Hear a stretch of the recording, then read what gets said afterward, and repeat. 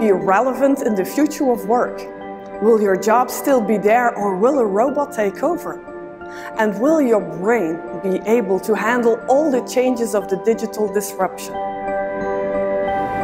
My name is Elke Geraerts and I travel around the world to inspire people about their authentic intelligence, the human version of AI, artificial intelligence. New devices, new apps, new upgrades of apps, new systems. And the question is, of course, can our brain handle all those changes?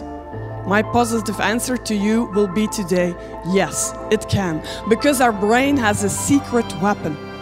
It's authentic.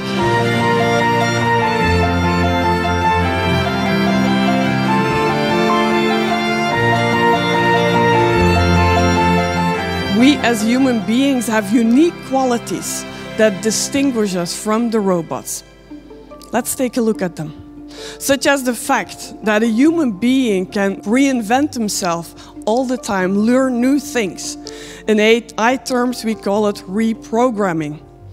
A second unique human quality is our ability to show resistance.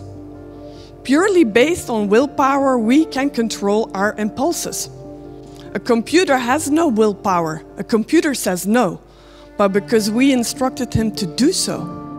We human beings have a secret weapon that distinguishes us from the robots, and that is our brain, which is very unique and authentic. Find out during my talk how you can improve your own authentic intelligence.